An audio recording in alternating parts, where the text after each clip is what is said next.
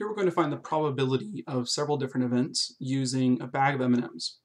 We've got a breakdown of colors with the numbers listed of each color, and we're going to pull two M&Ms out of the bag without replacing the candy. So each experiment, we're going to pull one M&M out, hold it out, and then reach in and pull out a second one randomly. And then we'll reset the bag before the next experiment. So each part of this problem we'll assume we're starting with the same distribution of colors that are given here. So first of all, we want to find the probability that we'll draw two red candies, meaning that we'll draw one, and then in our second draw we'll also get a red candy. So this is a multiplication rule problem, where the two events are not independent. If we replace the candy and reshuffle the bag, then they would be independent, because the probability on each draw would be consistent.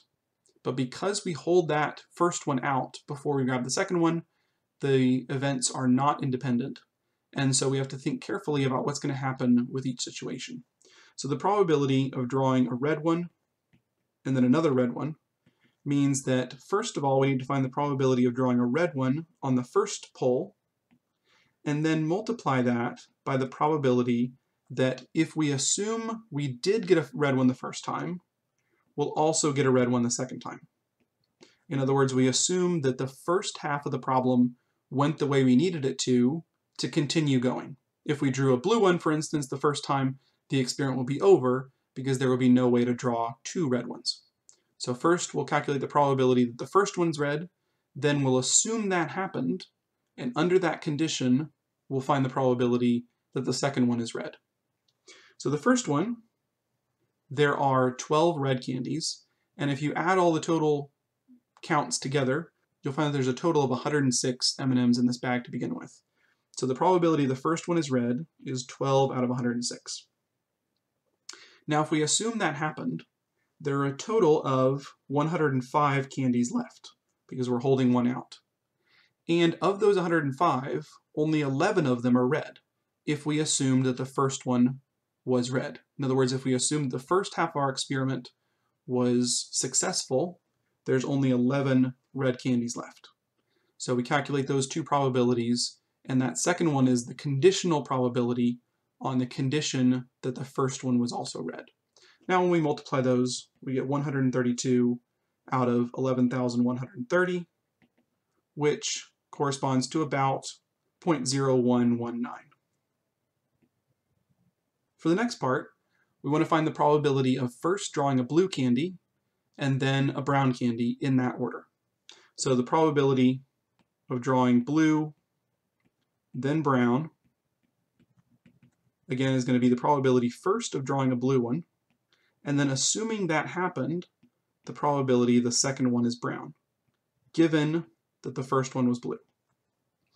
So again, there are 106 to begin with, and out of those, 22 of them are blue, if the first one we drew is blue, there are 105 total left, but all of the brown ones are still in there. If the first one we drew was blue, all the brown that were there at the beginning are still there. So there's still 24 browns. So if we multiply these together, we get 528 out of 11,130, which is about 0.0474. For the next part, we want the probability of not drawing two green candies. Now, if you try to do this directly, you'll find yourself getting lost very quickly because the number of ways you could draw not two green candies quickly gets out of hand. You could draw a red then a yellow, or a brown then an orange, or two browns, or a yellow and a green, and there are just too many possibilities to keep track of. It's much, much easier to first find the probability of drawing two green ones, and then remember that the probability of that not happening is just 1 minus that answer. So this is much, much easier. And then this one looks just like the ones we've done previously, especially part A. So we'll have 1 minus the probability that you draw a green one first times the conditional probability that you draw a green one second. So of course the probability you draw a green one first, there are 17 out of 106. And then assuming that happened, there will be 105 total, of which 16 will be green if you drew a green one the first time. So this is 1 minus 272 out of 11,130, which works out to 10,858 out of 11,130, or about 97 or 98%. For the last part, we're going to find the probability of drawing an orange and a yellow. Now this looks a lot like part B, where we drew a brown and a blue, but in part B, we were given an order specifically, blue then brown. In this case, notice carefully that order is not mentioned. It's just the probability that one of them is orange and one of them is yellow, which is easy to miss. But what we need to keep track of is that we could draw orange then yellow, or we could draw yellow then orange. And notice the word or tells us we're going to add the two probabilities together. So the probability of getting an orange and a yellow, we could do orange then yellow, or we could do yellow then orange. And these individual probabilities will do just the same way we did the previous ones. So for the first one, first drawing an orange, there are 13 out of 106. And then to draw a yellow, there would be 105 total. And if we drew an orange the first time, all the yellows would be left in the bag, all 18 of them. Then on the other hand, if we draw a yellow first, there would be 18 out of 106 times all the oranges, 13 out of 105.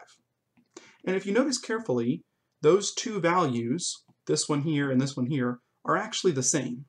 So we could have just calculated the probability of orange then yellow, for instance, and then doubled it, and the answer would come out the same way as the one we're going to get in just a moment. So there are a couple of ways to do this, but this way keeps everything easy to see, and we can keep track of all the possibilities and make sure we're accounting for them all.